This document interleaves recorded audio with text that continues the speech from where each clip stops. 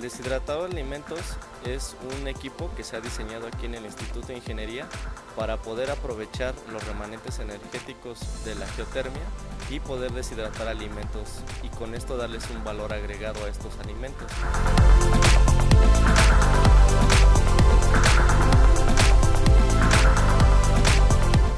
Tenemos una patente y también tenemos eh, convenios con la Facultad de Química, la cual nos está haciendo las evaluaciones microbiológicas y de calidad de los alimentos y también sensoriales.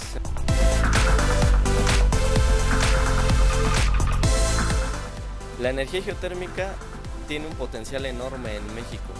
El uso de la energía geotérmica se debe de incentivar ya que podría aprovecharse para ahorrar energía y para muchísimos procesos industriales que ocupan agua caliente con lo cual eh, México podría ser una de las potencias mundiales en el aprovechamiento de la energía geotérmica.